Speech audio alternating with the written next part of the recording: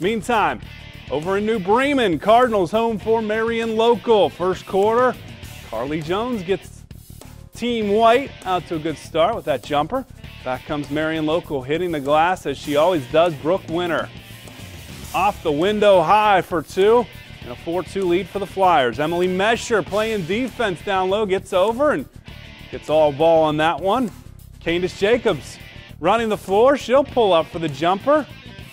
Flyers a small lead in the early going. Then Mesher offensive rebound. She sticks it back for two. This one back and forth throughout the night. Marion Local sneaks one out on the road by two, 38 to 36.